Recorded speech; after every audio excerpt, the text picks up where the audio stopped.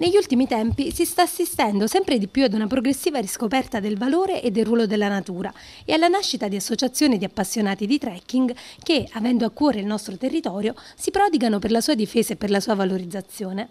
Dal 29 novembre, per chi volesse conoscere meglio la montagna e cimentarsi nel ruolo di accompagnatore esperto, inizierà il corso di accompagnatore escursionistico regionale, organizzato da Golfo Trek Sapri e dal Comitato regionale della FIE, la Federazione Italiana Escursionismo. Il corso, che si articolerà in 16 incontri con cadenza bimestrale e durerà fino a giugno 2015, si svolgerà presso l'Infopoint del porto di Sapri e fornirà ai partecipanti le basi tecniche e culturali per poter affrontare un'escursione in un ambiente montano, in completa autonomia e sicurezza.